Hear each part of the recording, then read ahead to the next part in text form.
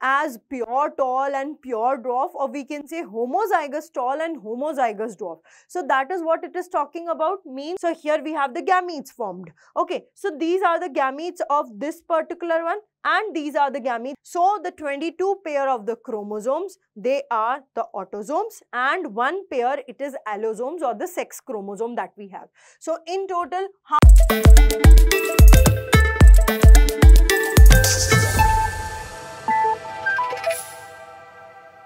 Hello dear students, you all are welcome. Now students, in this particular lecture, we are going to start a new topic. That is, we are going to learn about the particular Mendel's law of inheritance. So students, in this particular lecture, other than Mendel's law of inheritance, we are going to learn at last about sex determination that occurs in the organisms. Okay so let's get started with the very first one that is the law of inheritance. So students according to mendel he gave the particular three laws which we are going to discuss in this particular lecture. So the very first one is the law of dominance second is the law of segregation third is the law of independent assortment. So let's get started with the first one that is the law of dominance over here.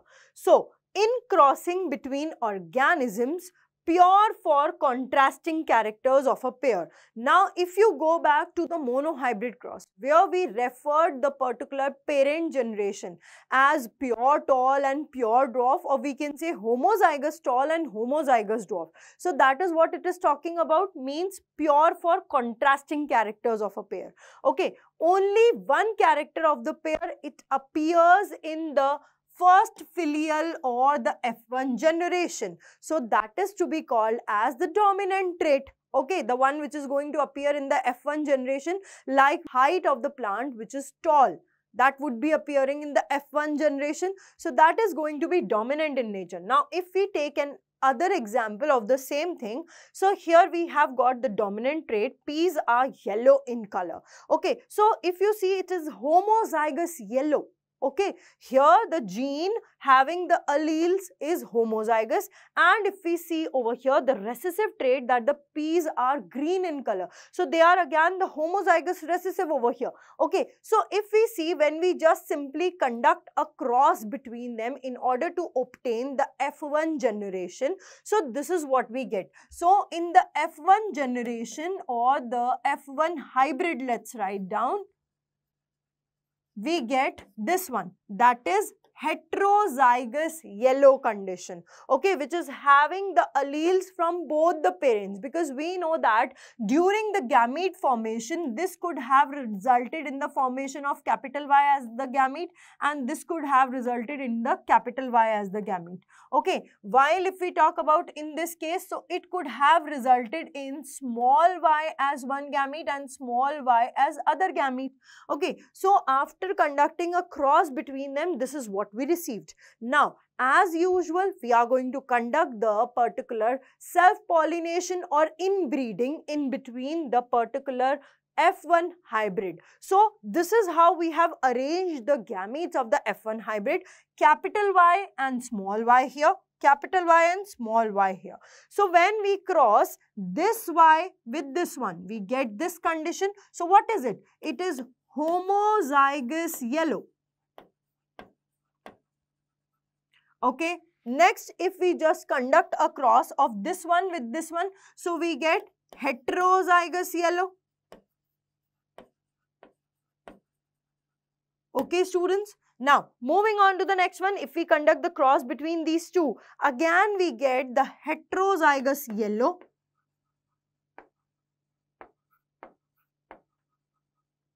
Okay, and here we have the homozygous green.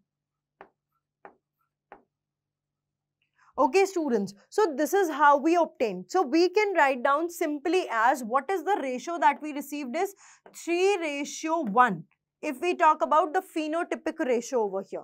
But if we talk about the genotypic ratio, it is 1 ratio 2 ratio 1. That is 1 homozygous yellow one homozygous green and two heterozygous yellow. That is what we received over here.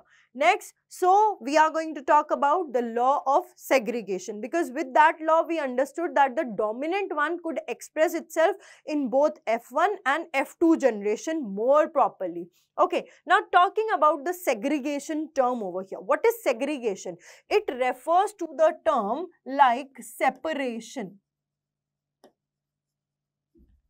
Okay, so for an example, if we talk about the alleles present in the genes. So for example, these are the two alleles that is present in the gene expressing for the tall height of the plant, right? So here these alleles, they are not always desired to remain together.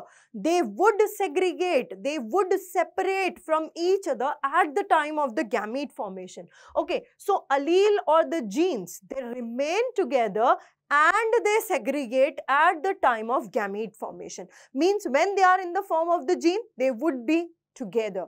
But when the time comes around, like there has to be gamete formation done in order to conduct the particular cross or the fusion of the things.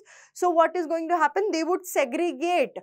They would not be coming with the other one. So if we talk about the same, here again, in order to understood the same, here we have one of the dominant trait that is the yellow seed and the green seed, the recessive trait over here.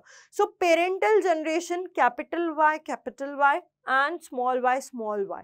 Okay, so they both are in the homozygous condition. We can mm, say that they are pure for the particular contrasting characteristic. Now we are going to conduct the cross. So in order to conduct the cross, we need to have the gametes of the same. So this capital Y, it results in the formation of the two types of the gametes, which would be having the capital Y itself.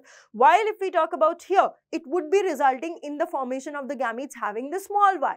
Okay, now if we conduct the cross, so this is what we receive when we cross this one with this one. So here we have got the combination number one. Next, if we talk about this is what we receive. Next, if we talk about this is what we receive. Next, if we talk about this is what we receive. So if we see over here in the F1 generation, all the particular seeds, they would be heterozygous yellow.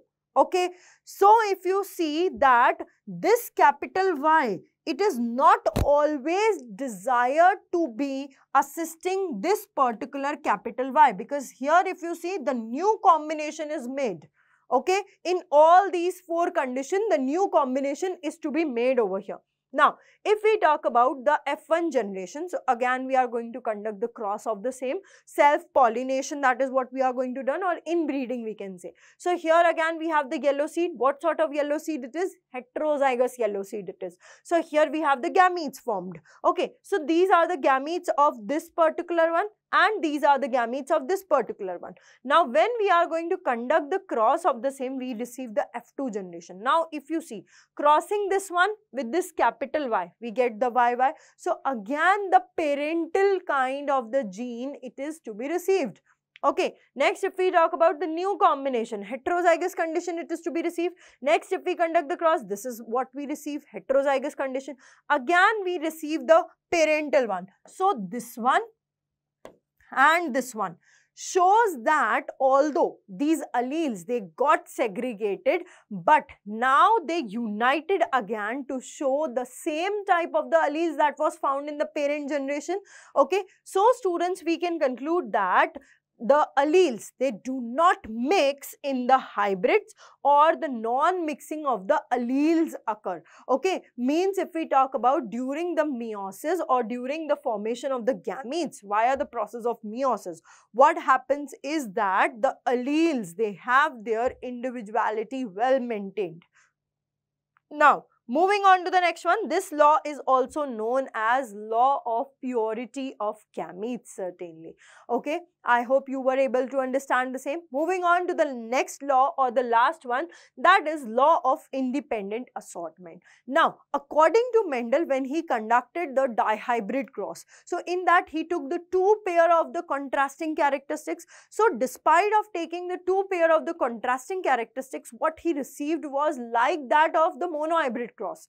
Okay, means here again, despite the two contrasting pairs were there, they got segregated independent of each other. So let's just conduct the same again. When individuals differing in two or more than two pairs of the contrasting characters, they are to be crossed. The inheritance of any one pair is not to be affected by the presence of the other. Let's understand that. So two different alleles. The first one seed color. Yellow color is dominant and green is recessive. Seed shape. Round shape is dominant and wrinkled shape is recessive. So students, this is the pair number 1 and this is the pair number 2 okay means this is the characteristics the contrasting characteristics that we are going to refer over here. Now if we talk about here what he did was he kind of crossed the particular yellow and round seed with that of the green and wrinkled one. This is the parent generation. So let's see how does it happen. This is what he received in the f1 generation. This is the hybrid or we can say it is heterozygous yellow round seed. Okay, so what is it? Heterozygous yellow round. Here we are talking about the F1 hybrid. Okay, this one is F1. Okay, so here it is yellow and round seeds. So if you see the yellow and brown, they are a pair over here. They are the pair of the characteristics that he referred and wrinkled and green, it is another pair. Okay, so despite of being in pair, if we just see the resultant of that is to be done in the F2 generation, means when we just conduct the self-pollination of this one. So, these are the particular sets of the gametes that would be formed over here. Capital Y would be having a pair with the capital R, then capital Y with the small r. This is what we see over here in this whole small y capital R, small y, small r. So this is what we see. So we have represented the male and the female part like this. Okay, now if you see that yellow and round, how many were they? They were 9 that we received. But if we talk about the new combination that we received was this one like this is yellow and wrinkled seeds. It is not round. This is the new combination that he received. Next, if we talk about it is the particular green and round. This one that you see. Okay, while if you see this wrinkled and green one or yellow and round one, this is the old one. So, despite of being present together, they just assorted independently, resulting into the formation of a new variant. Okay, so not only the gametes, they segregate independent of each other, also the characteristics, they also segregate independent of each other. Means one characteristic is not going to rely on the other and it would be carried forward to the next generation. Okay, it may occur that some of the new combinations could be formed certainly. Moving on to the next one that we see is the particular ratio. So, this is the ratio 9 ratio 3 ratio 3 ratio 1. So, in that this one and this one is for the parental kind of the thing but these two are the newly ones that we received certainly means green and round yellow and wrinkled these are the newly ones okay now if we talk about the next topic that we are going to discuss over here, it is going to be the sex determination. Now, what is sex determination? Well, students, if we talk about in general, so the organisms, they contain the particular sets of the chromosome, like if we talk about in humans, there are the two types of the chromosomes. The first type is the autosomes. Okay, so in humans, how many autosomes are there? There are about this 22 pair of the autosomes present and if we talk about in humans, the allosomes or the sex chromosomes which are for the determination of the gender of the individual, they are only one in pair. Okay, so the 22 pair of the chromosomes, they are the autosomes and one pair it is allosomes or the sex chromosome that we have. So in total, how many pair of chromosomes do the human have? 23 pair or we can write down it as 46 number of the chromosome. Okay, so either of the way we can define the same. So the sex chromosomes, they are the ones which are responsible for the determination of the gender of the new progeny, like whether it would be male or female. Okay, now if we talk about in the humans, the one pair that we are talking about, the allosomes. So the chromosomes that are depicted over here, it is of the male parent. Okay, so if you see the 23rd pair here, X and Y, it is to be found in the males. Okay, so students, we are going to learn in detail about the same. Let's just understand. So what are the factors responsible for the sex determination? Now, if you see in some animals, the temperature at which the fertilized eggs, they are kept, they decide the gender. For example, if we take an example for an instance over here about the particular turtle over here. So, when the eggs are incubated, incubated below 28 degrees Celsius. So, it results in the birth of the male. While when they are incubated above 31 degree Celsius. So, it results in the birth of the female. Also students in some of the organisms it is believed that at the lower temperature females are born and at the high temperature males are born. So it differs from organism to organism. Okay. Now, so in some animals, the temperature at which the fertilized egg they are kept, they decide the gender of the newly born one. Now, genetic. Like in some animals, like the humans, the gender of the individual, it is determined by a pair of chromosomes, which are to be called as the sex chromosomes over here. Now, if we talk about two important points that we need to note about the determination of the gender of the individual, birth of male and female child has equal percent because X and Y chromosome they are produced in equal number in case of the males. And it all depends either the sperm with X or Y fuses with the egg containing the X chromosome. Means if we talk about in case of the females, always and always X chromosomes they are formed. Okay, while it is the male which play the deciding role in determination of the gender of the new one. Why so? Because the male they carry either X or the Y chromosome in their particular gametes. Okay, in the female gamete that is the egg it is always going to be the X chromosome while in the male gamete that is the sperm it could be either X or Y which decides the birth of male is going to happen or the female is going to happen. So if we talk about when the fertilization of the sperm containing X chromosome is to be done with the egg. So, it results in the birth of the female child having the XX chromosome as the 23rd pair of chromosome. While if we talk about when the sperm containing the Y chromosome, it fertilizes with the egg containing the X chromosome, it results in the birth of the male child having the XY as the 23rd pair of the chromosome certainly. Now students, next thing, the birth of male and female child, hence it depends on Y or X chromosome of the male female always produces the X chromosome as I told you. So have no significant role in the sex determination of the offspring. Means if it is asked that who plays the deciding role in determining the gender of the newborn. So it is the chromosome that is coming from the male.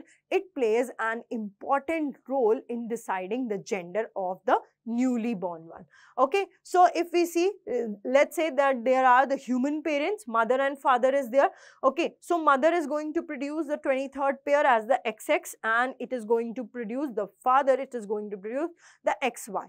Okay, now if we just conduct the cross of the same, so when this X get crossed with this one, it gets the birth of the female child. But if the gamete containing X chromosome, it gets fused with the gamete containing Y chromosome coming from the father, so it results in the birth of the boy child. Next, if we talk about it again gets fused with the X chromosome containing from the mother with that of the X chromosome containing from the father, it results in the birth of the girl child again next if we see lastly again when the x and y will fuse so it results in the birth of the male child. So here out of these four young ones we see that there are the 50% chances of the birth of female to that of the 50% chances of the male. So we can write down that 50% male and female have the chances of getting birth.